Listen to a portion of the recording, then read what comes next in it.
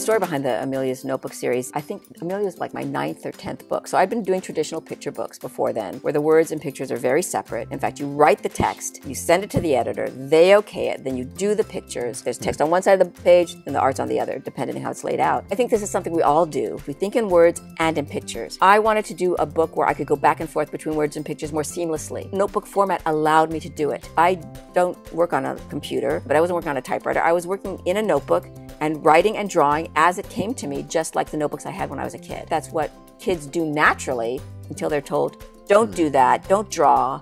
And also, it's something that I think kids around the age of nine, they become self critical of their drawings.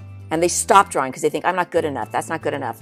And then they become grown ups who can't draw. And That they lose a me. really valuable skill. And it's not just the drawing they lose, they lose what I call visual intelligence that ability to look and think critically about what you see.